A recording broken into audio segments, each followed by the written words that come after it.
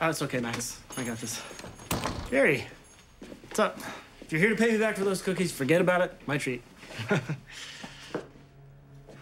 I know what you're hiding. What are you, what are you talking about? There's a wrongful death suit against you, man. From the family of Chloe Myers. Now, would that be the same Chloe that you were engaged to? Yeah, it is. Yeah. Does Maggie know what you did? Is that not really what you two talk about on your little dates? You're right. You're right. Describing how you murdered your fiance is probably not the best foreplay. You, you don't know anything. Ooh, based on how angry you're getting, I think maybe I do. Maggie and I are not together. But you know what we do talk about? We talk about what a mess you are. And no wonder she wanted out.